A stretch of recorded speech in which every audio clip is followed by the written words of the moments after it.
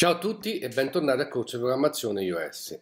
Da questa lezione iniziamo a vedere vari, mh, mm, le varie funzioni che possiamo eseguire quando l'utente esegue, eh, esegue delle istruzioni tramite le dita. Quindi abbiamo in totale sette, possibili istruzioni, tra cui in questa lezione vedremo il tap, cioè il tocco del dito sul nostro schermo e quindi fare eseguire delle operazioni alla nostra applicazione, poi vedremo lo swipe, eh, vedremo il tocco con due dita, la rotazione, il, uh, il tocco prolungato, il pan che sarebbe il trascinamento del dito sullo schermo. Quindi come detto andremo a vedere le basi di questi componenti. E in questa lezione vedremo appunto il TAP, quindi creiamo un nuovo progetto,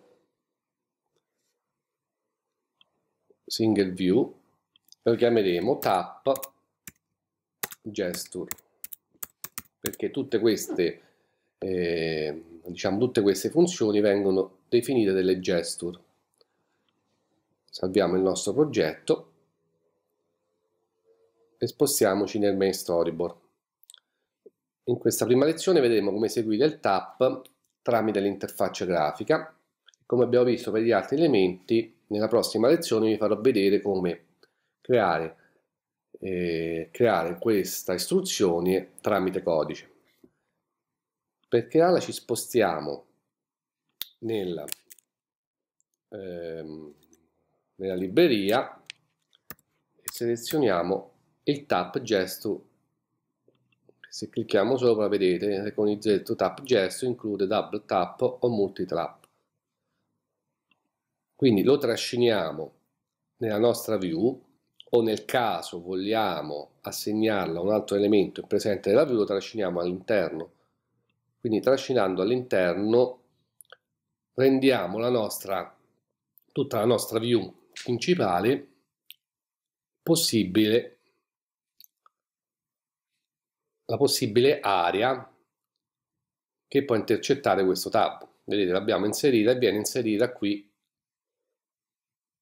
Ice Code tramite tap questa linea indicando il tipo di tap o meglio il tipo di gesto che abbiamo selezionato. Cliccandoci sopra vedete possiamo decidere di quanti tocchi deve essere quanti tocchi devono essere fatti sullo schermo per attivare eh, questa, questa gesture e di quanti dita, di quanti toucher abbiamo bisogno. Per esempio adesso noi lasciamo un dito, doppio tap. Dopodiché, per fare un esempio, ci spostiamo sempre nella libreria e selezioniamo due view. Quindi selezioniamo le nostre due view eccole qui possiamo metterla una qui. La facciamo di colore blu o viola via. Selezioniamo un'altra view e potremmo farla di colore arancione. Dopodiché ci spostiamo nel nostro assistant editor e come per vari elementi inseriamo intanto gli elementi. Quindi faremo i riferimenti riferimenti alle due view e poi faremo riferimenti riferimenti to, famo, alla riferimento alla gesture tap.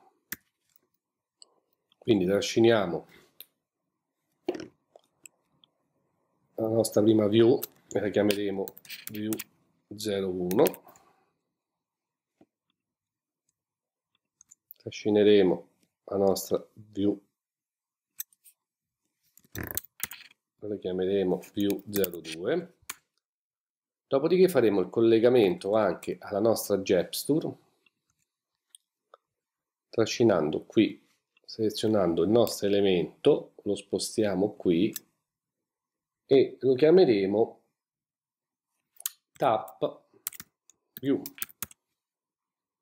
perché vedete di tipo UI tap gesture recognize quindi abbiamo creato un outlet anche per la gesture e i due elementi. Dopodiché, come per i bottoni, la nostra gesture può avere anche un action. Quindi selezioniamo action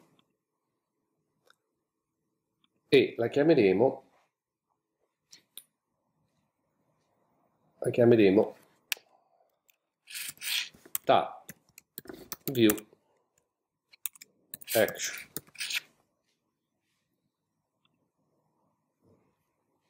Perfetto.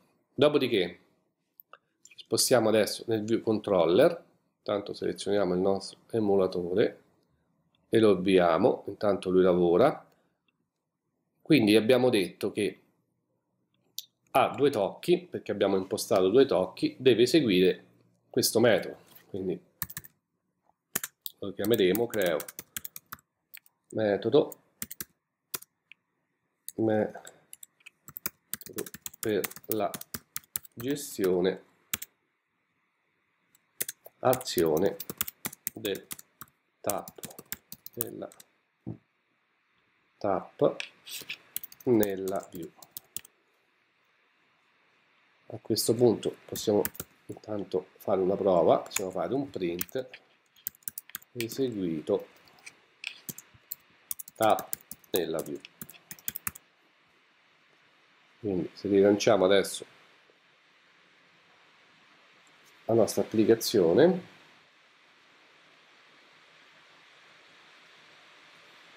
vedremo che al tocco vedete tocco, tocco singolo anche se non si vede vedete a un solo tocco non esegue nessuna operazione perché io ho impostato due tocchi. Se faccio un doppio tocco vedete esegue o esegue questo metodo possiamo anche impostare qui selezionando appunto il nostro tap view un tocco solo.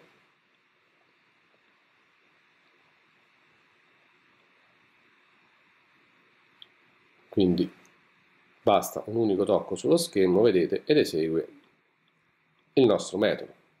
Quindi abbiamo definito in questo modo che tutta l'area dello schermo è possibile. Al tocco quindi riportiamola intanto a due tocchi.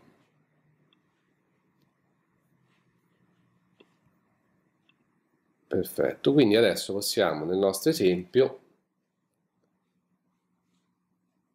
eseguito tap nella view possiamo fare guardate mettiamo un una variabile chiamata conto che è uguale a 0 eseguito tap nella view e metteremo quante volte abbiamo fatto questo tap quindi faremo così scriveremo la nostra variabile conto. Dopodiché per fare un esempio potremmo nascondere alternativamente le due view appena create. Quindi facciamo view quindi faccio conto. Se conto vi ricordate facendo così sto dicendo di fare un controllo che se conto diviso 2 ha come risultato 0 è un numero pari. Quindi recupero i numeri pari. Quindi se il numero è pari vi dico se il numero è pari di questo confronto allora fai la view 01 proprietà isn't uguale false quindi visibile. Invece la view 02 is hidden uguale true. Quindi nascondiamo la 2 poi potrei fare un else e di la view 01 di isent uguale true. Quindi nascondiamo la prima e rendiamo visibile la seconda. Se adesso noi lanciamo rilanciamo la nostra applicazione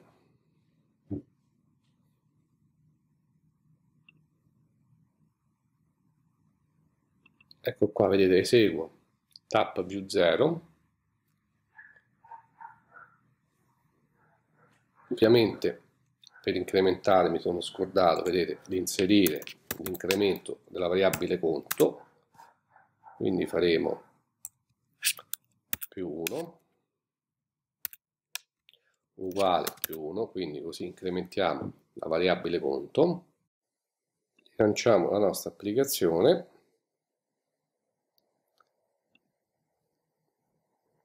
e vedete al primo tap perché essendo un numero dispari cancella nasconde la prima la prima view e fa vedere la seconda vedete quando è pari